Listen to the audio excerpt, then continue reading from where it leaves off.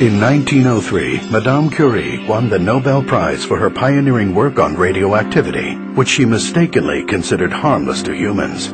We now know that her premature death from a rare blood disease was directly related to her exposure to radiation. Lead was a common ingredient in house paint and other household items until scientists fully understood the deadly effects of lead poisoning.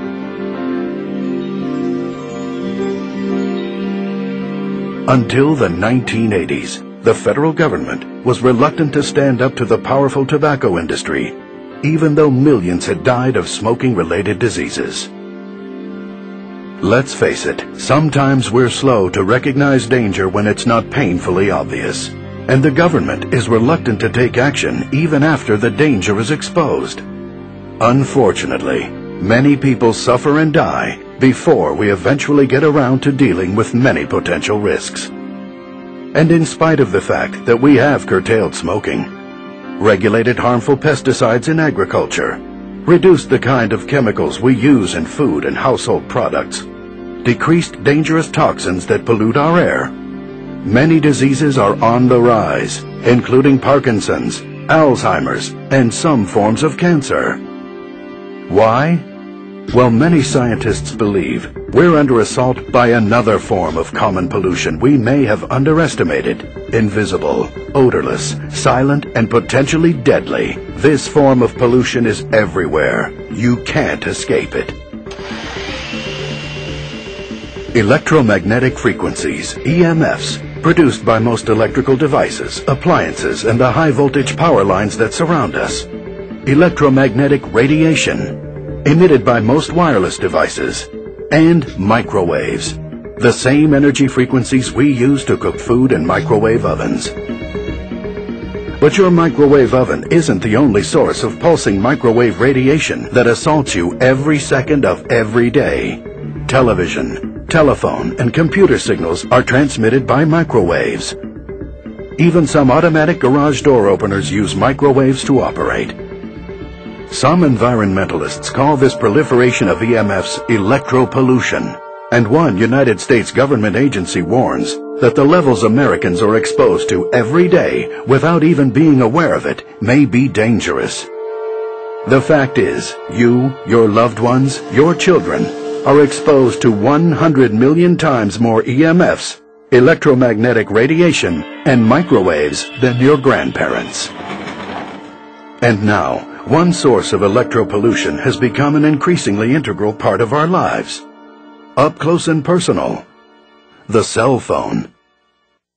In 1993, the first lawsuit was filed against the cell phone industry by a man who claimed his wife's brain tumor was caused by cell phone use. A brain tumor shaped exactly like her cell phone antenna. The resulting publicity prompted the cell phone industry to fund a $25 million study to prove that cell phones were safe. They hired Dr. George Carlo, a highly respected public health scientist, to conduct the research. Dr. Carlo's study was thorough and conclusive, proving just the opposite of what the cell phone companies wanted. In fact, Carlo found a strong connection between cell phone use and brain tumors, neurological disease, and genetic damage. The scientific evidence is mounting daily. Brain cancer is up 25% since cell phones became popular. Every year, there are 183,000 more cases in the U.S. alone. And this may just be the beginning. Like smoking and lead poisoning, the damage from electropollution is cumulative and may take years, even decades, to reveal itself. But every exposure may adversely affect your health.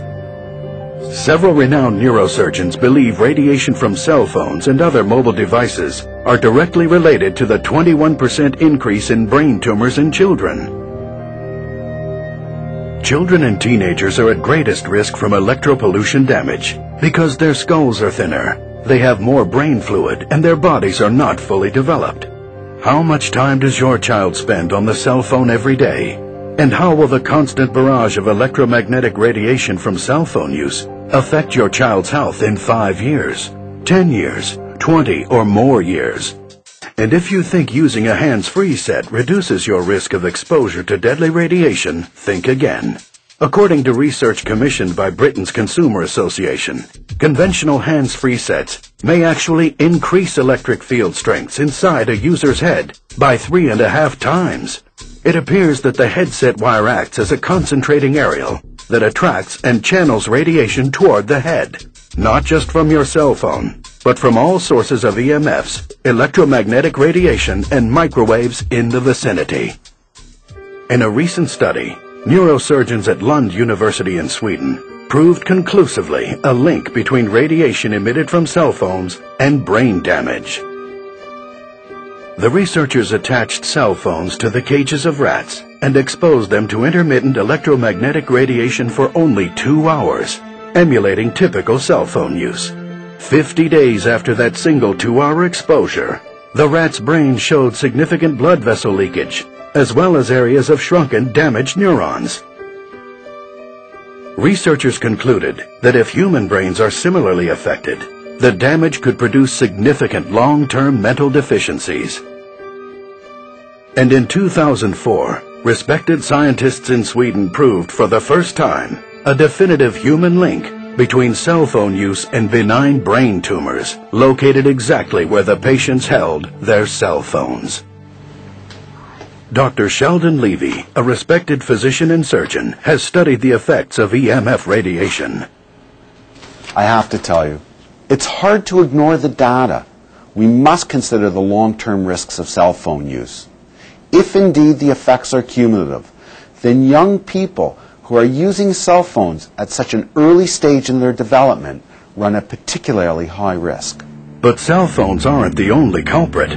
Scientists have become increasingly concerned about the potential risks involved in exposure to low-level microwave radiation from microwave ovens. Keep in mind, like all forms of radiation, you may not see or feel the microwaves that escape your microwave oven. But don't underestimate the power of this insidious form of electropollution. Just think, it only takes about a minute to boil a cup of water in a microwave oven. Disconcerting when you consider the human brain is 90% water. Certain body organs are particularly sensitive to this thermal effect or heat generated by invisible microwaves. Your stomach, intestines, and bladder are especially sensitive to thermal damage from high levels of microwaves, EMFs, and electromagnetic radiation. Likewise, the testes are very sensitive to changes in temperature. Exposure to high levels of microwave energy can alter or kill sperm, producing temporary sterility. According to one study, men who kept their cell phones in their pockets experienced a 35% reduction in sperm count. And there is no escaping this invisible menace. Electropollution is not limited to cell phones and microwave ovens. Home computers, laptops, cordless phones, televisions, refrigerators, hair dryers, coffee makers, even our cars add to the daily accumulation of electropollution that may be pushing us closer to a national health crisis. Do you or your children use a laptop computer or a video game console? Do you use these devices on your lap? Consider this. Scientists are exploring the connection between EMFs from the electronic devices we use on our laps and the astounding 50% increase in testicular cancer over the past 20 years. One important study in the U.S. found a link between those who work in an environment with high EMF exposure and neurodegenerative disorders, such as Alzheimer's disease, Parkinson's disease, and Lou Gehrig's disease. But it's not just about diseases. Research shows that continual exposure to this onslaught of electropollution disrupts your natural energy levels, triggering an adrenal response which, in turn, increases stress responses. This constant stress contributes to your energy depletion and fatigue, lack of concentration, poor work performance, and difficulty getting a good night's sleep. Based on the research that I've reviewed, I'm convinced that the chronic exposure to electromagnetic frequencies plays some role in the dramatic increase in stress related diseases and conditions that we've been seeing.